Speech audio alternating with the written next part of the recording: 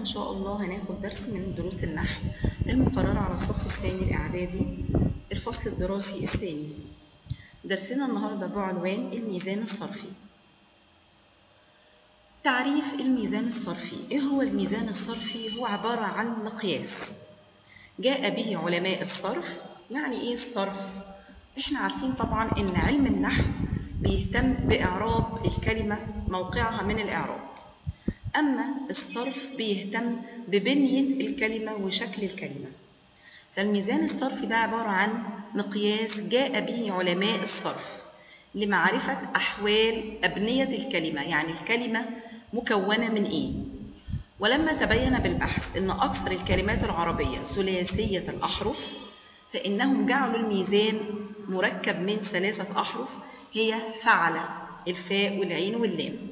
ليه بنقول إن الكلمات اللي في حياتنا كلها أصلها ثلاثة أحرف؟ تعالوا مثلا كلمة مكتبة هنلاقيها مشتقة من كتبة. كلمة غسالة من غسلة كلمة منشار من نشرة. يبقى الميزان بتاعي ثلاث حروف هم كلمة فعل ولما بنيجي نوزن أي كلمة زي كلمة ضرب مثلا بيبقى الميزان بتاعي هو فعل طب تعالوا نشوف مثال على الكلام ده. كيفية الوزن؟ عند وزن الكلمات نراعي الآتي أن الكلمة المطلوبة المطلوب وزنها بتقابل في الميزان كلمة فعل مع مراعاة ضبط كل حرف بالشكل اللازم ليعمل حسابه في الميزان. طبعا الأمثلة هتوضح. زي مثلا كلمة ضرب ضرب لما باجي هوزنها هتكون على وزن فاعل الضاد هتكون هي فاء الكلمة.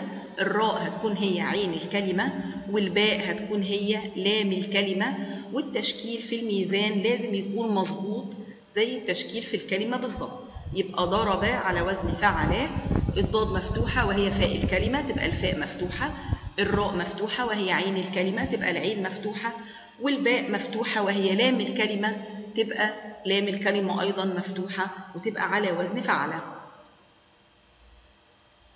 زي ما إحنا شايفين أهو هنوضح أكتر. ضرب على وزن فعل الضاد هي فاء الكلمة الراء هي عين الكلمة والباء هي لام الكلمة.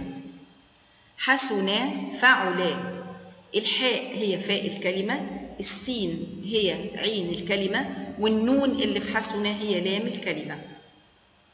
وزي ما إحنا شايفين حسنا التشكيل قدامنا عامل إزاي؟ الحاء عليها فتحة السين ضمة النون فتحة يبقى الميزان هيبقى نفس الشيء. فاعلا نيجي نشوف علمة على وزن فاعلة.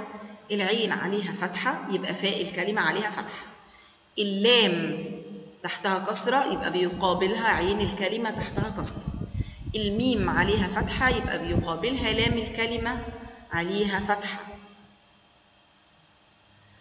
طيب تعالوا نشوف الكلمات الزائدة عن ثلاثة أحرف. إحنا خلاص عرفنا وزن الكلمات اللي من ثلاث حروف خلاص على وزن فعل طب لو زيادة عن ثلاث أحرف هتبقى على وزن فعلل إذا كانت الحروف زائدة عن ثلاثة أحرف أصلية أي أن الحرف الزائد لا يمكن الاستغناء عنه لأنه أصل في بناء الكلمة والمعنى مش هيستقيم بدونه هنزود لام أخرى على فعلة. وفي الميزان زي ما إحنا شايفين كده هيبقى الوزن فعللة زي دحرج إن الحرف الرابع عندي اللي هو حرف الجيم ما أقدرش أستغنى عنه يبقى بزود في الميزان لام أخرى. وإن كانت أصول الكلمة خماسية وده طبعا ما بيحصلش غير في الأسماء هزود لامين على كلمة فعل زي سفرجل هتبقى على وزن فعلل. فين اللامين دول؟ اللامين دول قدامنا لام مشددة. واللام الأخيرة. طبعا اللام المشددة دي عبارة عن إيه؟ عبارة عن اللام اللي هي لام الكلمة الأصلية ولام أخرى واللام الأخيرة اللي إحنا شايفينها دي. يبقى اتنين لام على كلمة فعل. يبقى سفرجل فعلل زبرجت فعلل غضنفر فعلل. وبنضغم اللامين في بعض. ليه؟ لأن من جنس واحد لام ولام فبضغمهم في بعض. وممكن ما يكونش فيه أي حاجة للإدغام زي مثلا كلمة جحمرش. جحمرش هنا هتبقى على وزن. فعلل يبقى ما فيش داعي إن أنا أضغم. يبقى جحمرش على وزن. فعلل والجحمرش يعني المرأة العجوز طبعا دي كلمات قليلة جدا في اللغة العربية اللي بتكون خماسية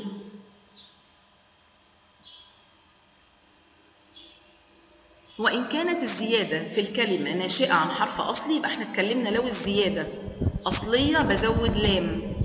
لو الكلمة رباعية بزود لام لو خماسية بزود لامين. طب افرض الزيادة ناشئة عن حرف غير أصلي اللي هي مجموعة في كلمة سألتمونيها. الحروف دي حروف ممكن تزيد على الكلمة وتكون غير أصلية. فإننا نزل من الكلمة أحرفها الأصلية واللي بيزيد في الكلمة بزوده في الميزان. ثم نزيد في الميزان الأحرف الزائدة في الموزون كما هي بضبطها الموجود في الكلمة. يعني مثلا كلمة مقتول أصلها قتل الثلاث حروف الأصليين بتوعها قتل على وزن فعل المادة الأصلية قتل على وزن فعل طب كلمة مقتول هلاقي الحروف الزيادة هي الميم والواو. هروح مزوداهم في الميزان هزودهم في الميزان في نفس مكانهم. يعني مثلا الميم زادت قبل فاء الكلمة والواو كانت زايدة بعد عين الكلمة. يبقى مقتول على وزن مفعول بنفس التشكيل. شارك أصلها شرك على وزن فعل. اللي زاد عليها؟ برافو عليك وزاد ألف بعد فاء الكلمة. يبقى هزود ألف بعد فاء الكلمة. يبقى شارك على وزن فاعل. ملاحظة مهمة جدا ونحفظها زي اسمنا. ما يزاد في الكلمة يزاد في الميزان. زي استخرج إيه الحروف الأصلية منها؟ برافو عليك وخرج الألف والسين والتاء. طبعا خدنا المجرد والمزيد وعرفنا إن الألف والسين والتاء زيادة. لما نيجي نوزن كلمة استخرج نفس الحروف اللي زادت في الكلمة هنزودها في الميزان في نفس مكانها. استخرج زادت في بداية الكلمة يبقى هتبقى استخرج على وزن استفعل. استخرج استفعل. القاعدة الثانية ما ينقص من الكلمة ينقص من الميزان. ما ينقص من الكلمة ينقص من الميزان. زي إيه؟ زي مثلا قف. قف ده فعل أمر. بعرف منين؟ أصل الكلمة بجيب الماضي. بعرف منين أصل الكلمة؟ يا شباب بجيب الماضي. يبقى قف أصلها وقف. وقف. يا ترى إيه الحرف اللي اتحذف عندي؟ في فعل الأمر قف. هو أول حرف يعني فاء الكلمة. فاء الكلمة محذوفة تمام كده؟ يبقى الواو بتقابل فاء الكلمة في الميزان. يبقى لما أجي أوزن كلمة قف أحذف فاء الكلمة من الميزان. يبقى قف على وزن عل. قف على وزن عل. حذفت الواو من وقفة والواو هي فاء الكلمة. يبقى هحذف الفاء من الميزان بتاعي. يبقى وقف على يبقى قف على وزن عل. إذا كانت الكلمة بها حروف زائدة وحروف ناقصة يراعى وضعها في الميزان. يعني أوقات الكلمة بيكون فيها حروف زايدة وحروف ناقصة زي كلمة الصفة. طبعا الألف واللام التعريفية دي حروف زائدة على الكلمة والتاء المربوطة أيضا حروف زائدة على الكلمة. يبقى الزائد أنا بزوده في الميزان. يعني الكلمة كده أصلها صف. طب يا ترى صف ده أصل الكلمة ولا في حرف محذوف؟ هات الفعل الماضي عشان تعرف الحرف المحذوف. وصف. وصف. الواو بتقابل فاء الكلمة. يبقى أنا أول خطوة هعملها إن أنا هرجع الحرف ده في الميزان. هرجع الحرف اللي هو وصفه هرجعه. هرجعه ليه؟ عشان أعرف أنا هحذف فاء الكلمة ولا عين الكلمة ولا لام الكلمة. لازم أرجع الكلمة لأصلها اللي هو الفعل الماضي عشان أعرف المحذوف عندي هو واو الكلمة هو فاء الكلمة أسفة ولا عين الكلمة ولا لام الكلمة. وصفاء يبقى المحذوف عندي دلوقتي هو فاء الكلمة. برافو عليكم. تمام. يبقى صف هتبقى على وزن عل طب دي أول خطوة. الخطوة الثانية إن أنا اللي زايد عندي في الكلمة هزوده في الميزان اللي هو الألف واللام والتاء المربوطة. هزودهم أيضا في الميزان. يبقى الصفة على وزن العلة. جت إزاي يا ميس الصفة على وزن العلة؟ زودنا الألف واللام والتاء المربوطة في الميزان وحذفنا فاء الكلمة زي ما هي محذوفة في الكلمة حذفناها في الميزان. برضو من أمثلة ذلك قي فعل الأمر من وقى وقى فعل ماضي الأمر من قي عرفت أصل الكلمة من خلال الفعل الماضي وقى وعرفت كده إن المحذوف عندي هو إيه؟ برافو عليكم. فاء الكلمة ولام الكلمة واللي متبقي عندي عين الكلمة ومكسورة يبقى لما أجي أوزن برضو هحذف فاء الكلمة ولام الكلمة هيتبقى عندي عين الكلمة وبرضو مكسورة. يبقى قي على وزن عي. إلى آخر الكلمات في اللغة العربية. زين الكلمات الآتية. المسلمون. المسلمون. تعالوا نشوف هنعمل إيه. المسلمون. الثلاث حروف الأصلية هي سلمة. سلمة على وزن فعل يبقى عندي الحروف سلمة على وزن فعل وبزود عليها الحروف اللي زادت عندي في الكلمة هزودها في الميزان في نفس مكانها اللي هما الألف واللام والميم الأولى دي والواو والنون. يبقى المسلمون على وزن المفعلون المفعلون. تعالوا نشوف كلمة الإخلاص على وزن إيه؟ خلصة خلصة على وزن فعل يبقى الحروف الزايدة اللي عندي هزودها برضو في الميزان. يبقى الإخلاص على وزن الإفعال. الإفعال. المدرسة. الحروف الأصلية عندي درس درس. على وزن فعل على وزن فعل تمام؟ طب إيه الحروف الزائدة؟ برافو الالف واللام والميم والتاء المربوطة. يبقى المدرسة على وزن المفعلة.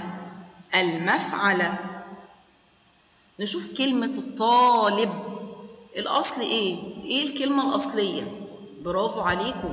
الحروف الأصلية. طلبة. طلبة. اللي بيزيد في الكلمة بزوده في الميزان. يبقى الطالب على وزن إيه يا شباب؟ برافو عليكم الفاعل الحروف اللي زايدة في الكلمة زودتها في الميزان في نفس مكانها وبنفس تشكيلها. يستقيم. إيه الحروف الأصلية؟ قيما قيما هم دول على وزن فعل قيما فعل يبقى يستقيم على وزن يستفعل. يستفعل. جميل قوي. مخرج طبعا الحروف الأصلية خرج على وزن فعل. إيه اللي زايد عندي؟ الميم في أول الكلمة. يبقى هزود عندي في الميزان إيه؟ برضو الميم في أول الكلمة. يبقى مخرج على وزن مفعل. مخرج على وزن مفعل. يقاتل. يقاتل. الحروف الأصلية هي قتلا قتلا يبقى نفس الشيء هزود الحروف اللي عندي في الكلمة هزودها في الميزان في نفس مكانها وبنفس تشكيلها. يبقى يقاتل على وزن يفاعل. يقاتل على وزن يفاعل. تعالوا نشوف قنا. قنا. قنا طبعا دي فعل أمر. قنا. أشوف أصل الفعل قي. وقى وقى برافو. يبقى أنا محذوف عندي إيه؟ محذوف عندي إيه من وقى وقى الواو محذوفة والألف اللينه محذوفة. يعني فاء الكلمة محذوفة ولام الكلمة محذوفة ومتبقي عندي عين الكلمة بس. يبقى أنا كده حذفت فاء الكلمة وحذفت لام الكلمة. يبقى في الميزان برضو هيتبقى عندي إيه؟ عي. عي. جميل قوي. طب إيه اللي زايد عندي هنا برضو عشان أزوده في الميزان؟ نا. ضمير النا المفعولين. هزوده برضو في الميزان. يبقى قنا على وزن عنا عنا حذفت فاء الكلمة. وحذفت لام الكلمة بقت الكلمة عندي قي زودت اللي موجود عندي في الكلمة زودته في الميزان يبقى قنا على وزن عنا.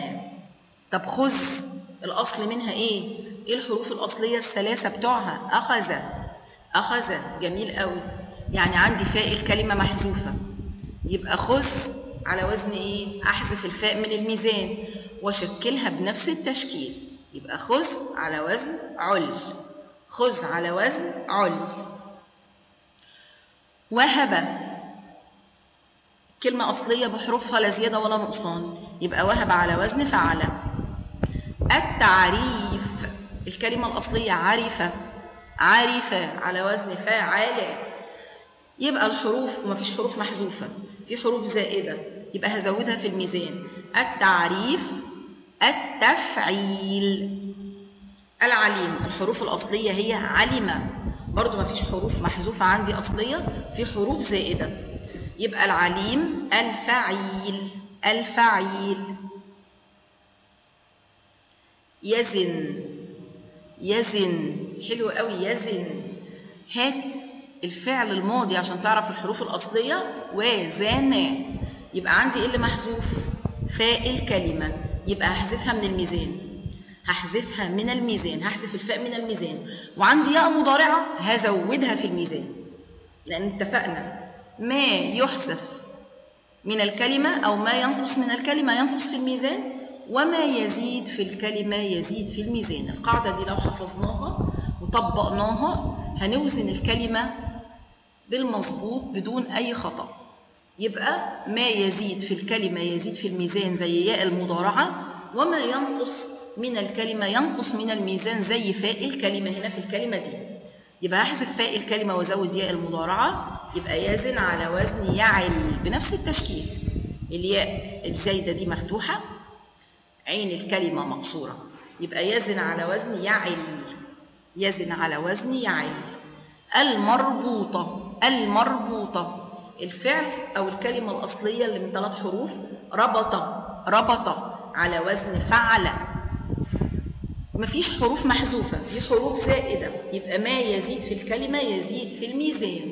المربوطة المفعولة.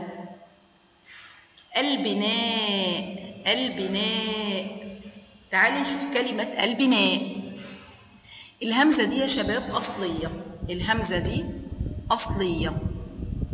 هنقول البناء على وزن الفعال هي أصلية يعني منقلبة يعني من أساس الكلمة. الهمزة هنا من أساس الكلمة. تمام؟ أو بمعنى أصح هي منقلبة عن أصل اللي هي الألف. الفعل أصله بنى بنى. الباء موجودة والنون موجودة والهمزة دي منقلبة عن أصل. يعني من أساس الكلمة. يبقى أنا هزود إيه؟ هزود الألف واللام وهزود المد بالألف. يبقى البناء على وزن الفعال الفعال